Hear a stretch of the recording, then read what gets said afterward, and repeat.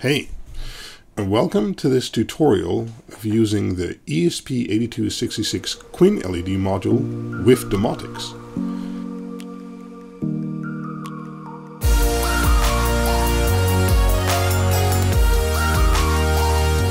Queen LED itself is a pretty, well, dumb module, I guess I could say. It's only capable uh, to, of dimming your lights when it receives a command.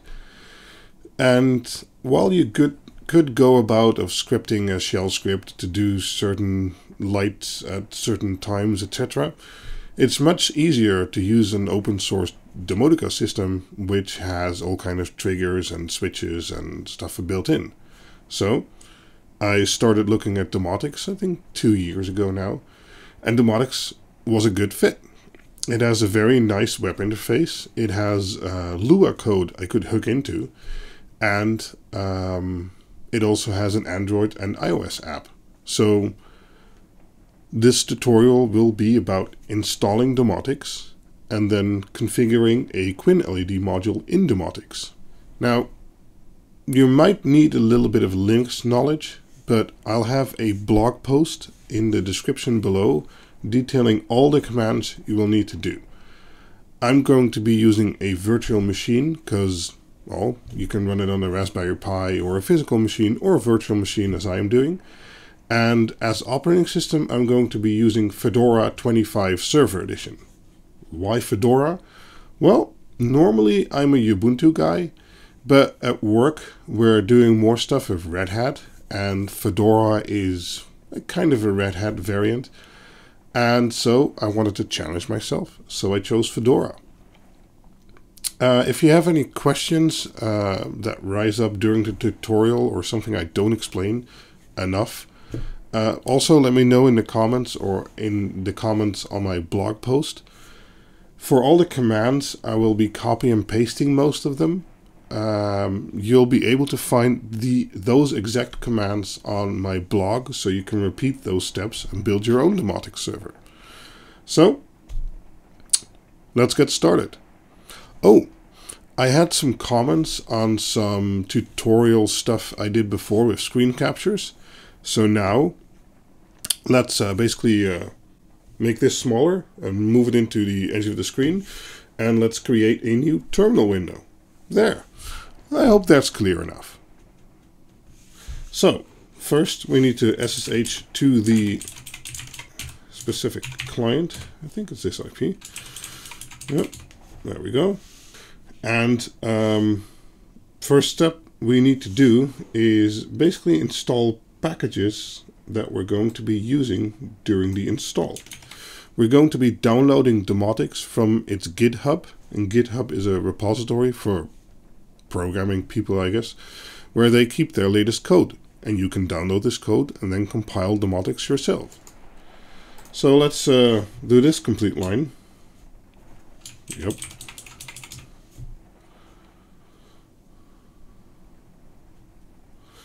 It wants to download 72 megabytes. That's fine.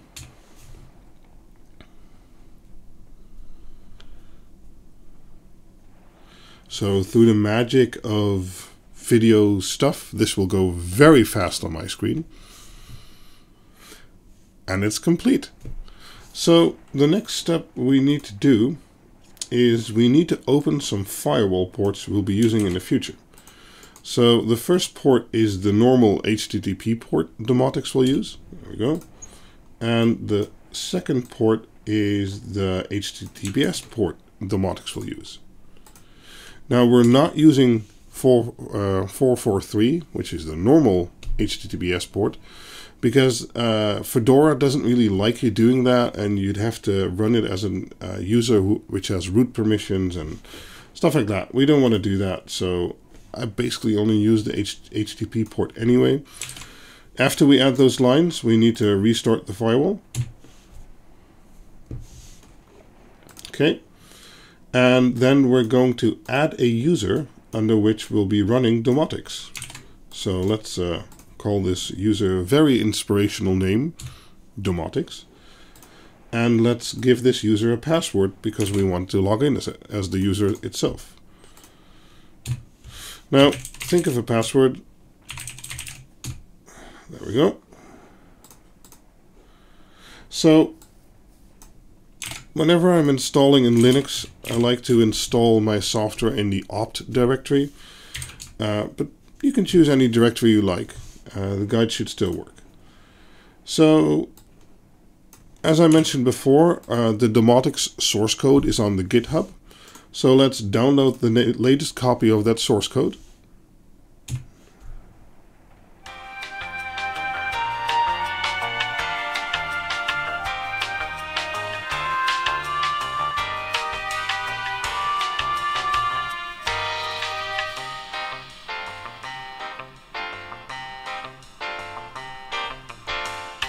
depending on your internet speed. That takes a little while.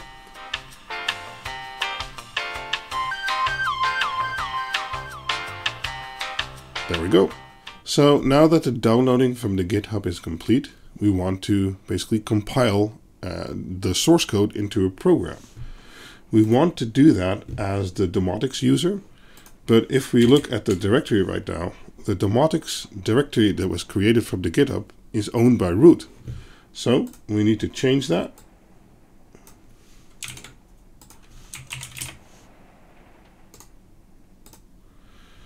And we're changing that to the Domoticz user. So now the Domoticz user is allowed to enter this folder and manipulate and run in it, etc.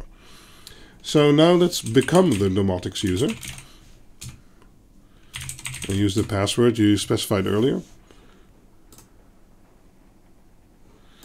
And let's see which folder we're in. Okay, we're still in opt, so let's go to Domoticz. And let's see what we have here. Okay. So the next thing to do is run a cmake command. This basically prepares you or prepares the system for the source code to be built. And if you have all the right packages, it should complete successfully and say build files have been written to opt domoticz. Great. So now we do a make. And depending on the amount of physical and or logical cores your machine has that you're using, this minus J4 should match that. So if you have a hyper-threading i7, it's 8. Or if you have an i5, it's mostly 4 or well, whatever you have, make sure you get the right number. If you don't get the right number, it doesn't really matter, it just goes faster or slower during the compile. Okay, let's uh, speed this up again using the magic of video editing. So this process can take a little while. The nice thing of Domoticz is, as I said, it has the interface you can use on your phone or your tablet or your computer in a web browser. But it's also compatible with a lot, a lot of different devices. So even if you have um, different type of switches or motion sensors or Z-Wave stuff or um, you know those cheap things you buy at the at the store where you can just switch on and switch off a light using an RFXcom. You can combine all those and one of those buttons could actually turn on a QuinLED or vice versa. We could build a sensor device using an ESP8266 and it could send commands to Domoticz to do something else. And well, you can make it as as as as complicated as you want, I guess. For me, one of the things I'm going to be building in the future, I'm going to have under rail lighting on my stairs, and all the preparations for that are done. But I also want to use motion sensors. But if I trigger the motion sensor at 8 o'clock at night, I want the lights to go on 50% for, for instance, and for 5 minutes. But if I trigger the motion sensor at 3 o'clock at night, because I'm going to the bathroom, I want it to light up like 10% or 15%. And I want it to stay on 3 minutes or 10 minutes or 1 minute or whatever. And using Domoticz and the power that it has, all these things are possible. Where the QuinLED or Quinn LED, sorry, LED is Dutch.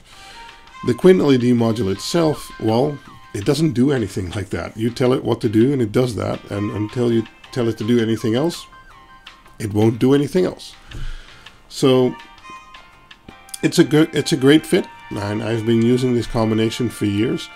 This also makes that my girlfriend also understands the system. She can turn on and off the lights, uh, all the buttons work, and yeah.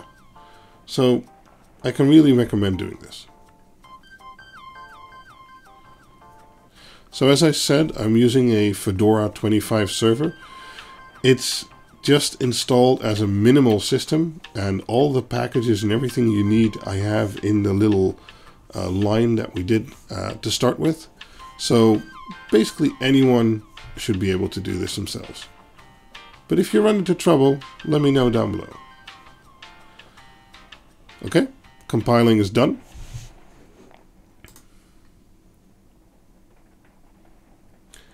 So let's check our directory again. Okay, that's good. And let's do a test start of Domoticz and see if it works.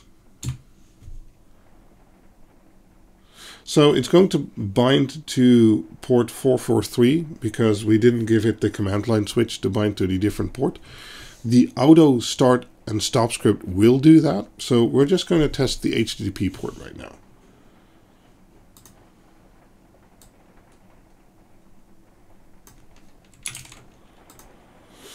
So here is my browser. And let's see if it works. And there we have it, Domoticz. And uh, as far as I can see, that's the newest version. And let's look at the log.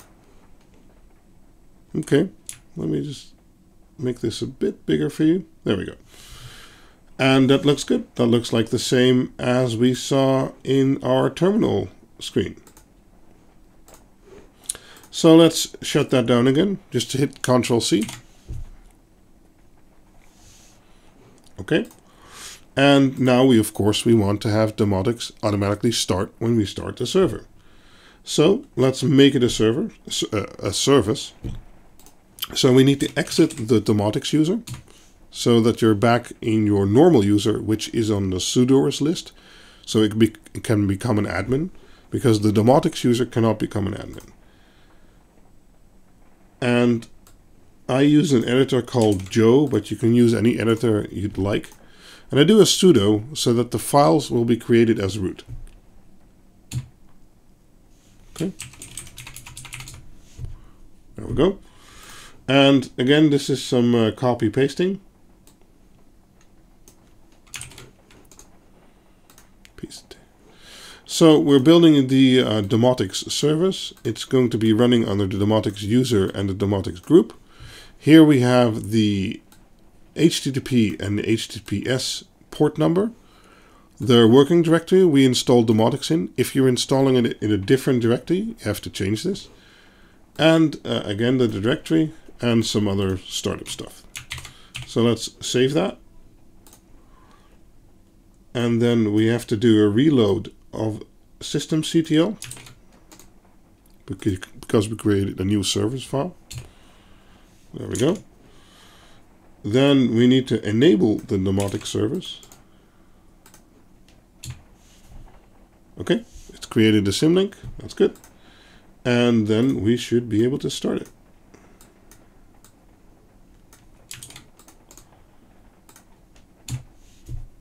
There we go. So let's check if that worked. I can uh, already see from the time that it worked, but I should be able to click around and, yep. Seems to be working fine. So now we can also test the HTTPS port.